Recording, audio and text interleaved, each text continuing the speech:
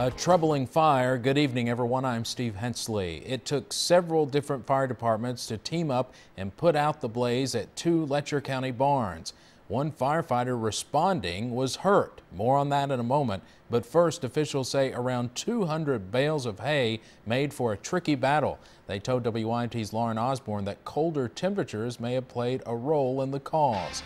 She joins us now with more. Lauren? Steve, that's right. The fire that engulfed the barn this morning was tricky. Officials told me the barn was full of hay, making it very difficult to fight the flames. Those old hay fires are terrible. The fire chief of Letcher Fire and Rescue says it took a team effort to battle the flames.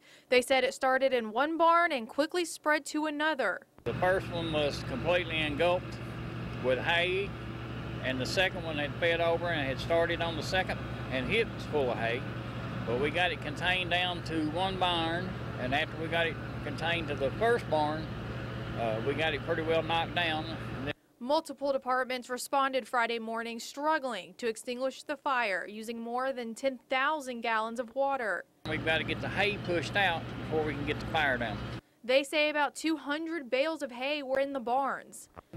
Officials say the fire started because the owner tried to put a heater inside the barn to keep his chickens warm during the cold weather. Officials also say the fire started just moments after the owner walked away. They said they had a woodworking shop in there. They had all kinds of uh, saddles and bridles and stuff for their horses.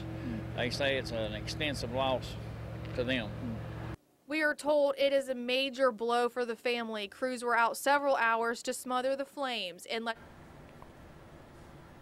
no one was hurt at the scene of the fire, and firefighters say they finally put out the fire around 3 this afternoon. Steve? All right, Lauren, thank you. Meanwhile, crews were forced to fly out a fire.